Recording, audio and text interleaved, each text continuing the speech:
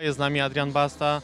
Adrian, patrząc na wynik 3-0, ktoś może pomyśleć, że wasza porażka była e, taka pewna, ale patrząc na przebieg spotkania, no te bramki można było ich chyba uniknąć, nie były takie oczywiste po pięknych akcjach rywali.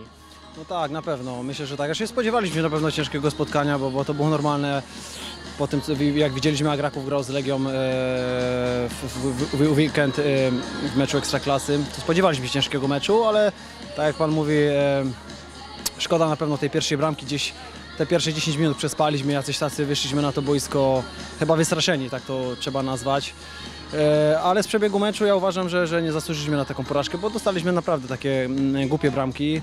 E, No my też mieliśmy jakieś tam swoje sytuacje, także, także gdzieś troszeczkę e, tej koncentracji pod bramką i myślę, że mogliśmy coś strzelić. Gdybyśmy strzeli bramkę przy wyniku z 0-2 na, na 2-1, to, to myślę, że, że mecz mógłby być całkiem inny i uważam, że piłkarsko nie wyglądaliśmy tak źle, jak, jak pokazuje to wynik. No właśnie, trzeba przyznać, że dużo było składnych akcji, grania piłką bez wybijania na oślep. To chyba jakiś dobry prognostyk przed pierwszym meczem ligowym, który już w sobotę.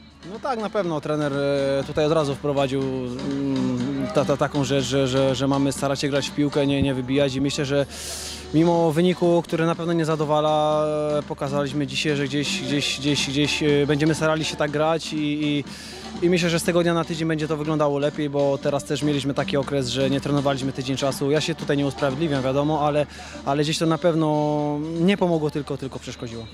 Dzięki, powodzenia.